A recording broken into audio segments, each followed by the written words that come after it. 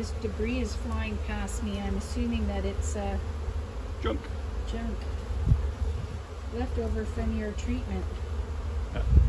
Again, we've taken, we have three big hives and we've taken out two, three splits from really predominantly two hives, being this one and that one.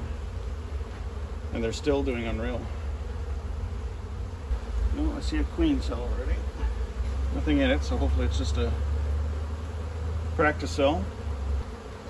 Another queen cell, but nothing in it. Oh, a little queen cell down in the corner. Capped? Nope. Nothing in it.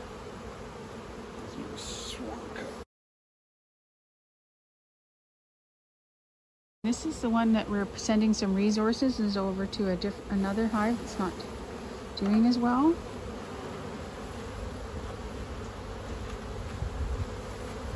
Lots of swarm cups, but nothing in them.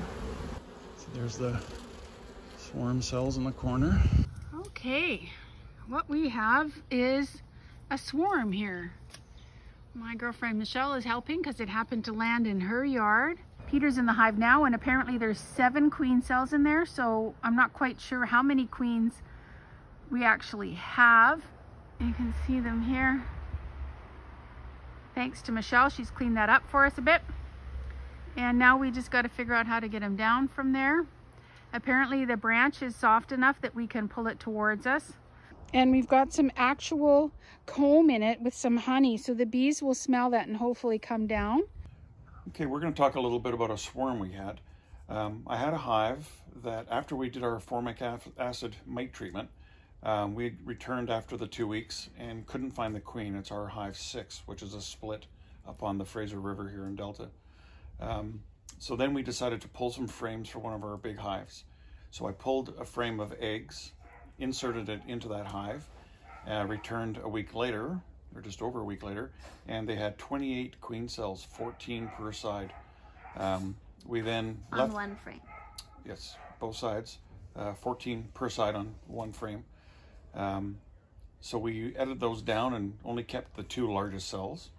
Um, we returned, I guess, almost two weeks later. We found a queen. Um, she was returned. She was nice and big and plump. So I marked her with a you know a blue dot on the Saturday. Um, and then the following Wednesday, I got a call at work from a friend who has the hives on his property saying, "I think your bees just left." Um, so I went. I took off work, came home, and found the swarm in the neighbor's yard, which is also a good friend of ours' property. Um, we caught that swarm, and I really didn't want seven hives. So out at the farm where we have two of our hives, um, the young lady who's the daughter of the owners was interested in beekeeping. So I've given her the hive. She's bought her own equipment, and it's right beside our two hives, and kind of teaching her what I know. It's only been a year, so teaching her all my mistakes. Um, and she's enjoying beekeeping, and hopefully after this COVID, she's interested in getting into taking some courses and uh, kind of helping her along. And it's a great little place.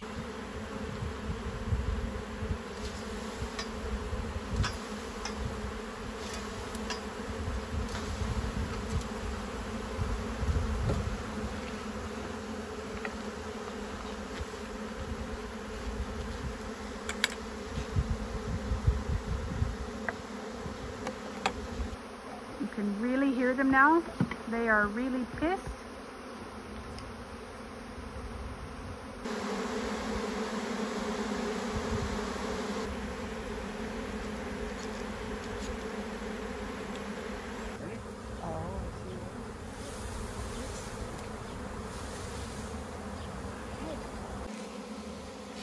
Well that didn't work either.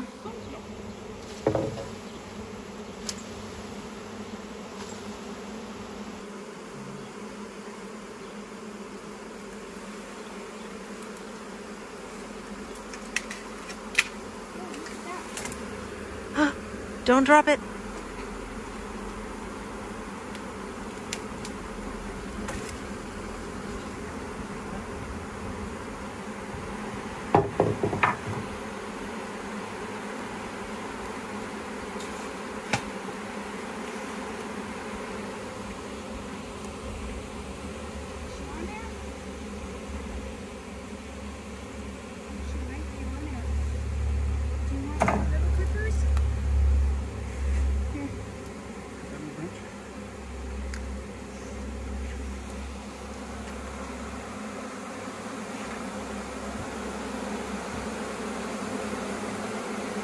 We just found the queen, so she must have flown off.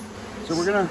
And we've got her in a cage, so they're all gonna swarm around her. And now that we have her here, um, they'll all slowly cluster into this hive.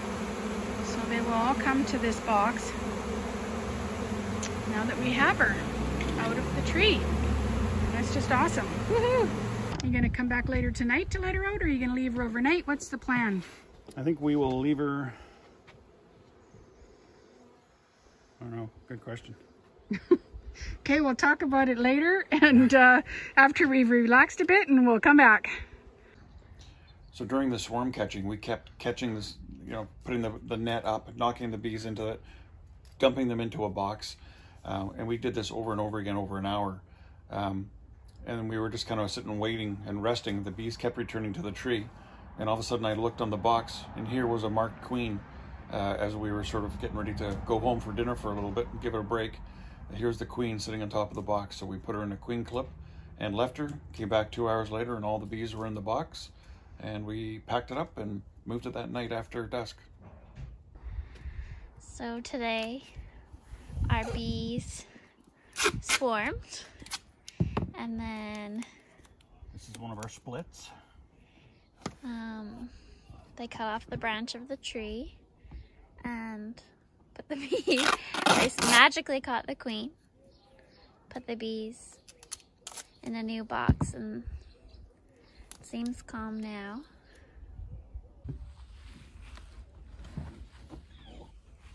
box of bees, all right. Is it heavy?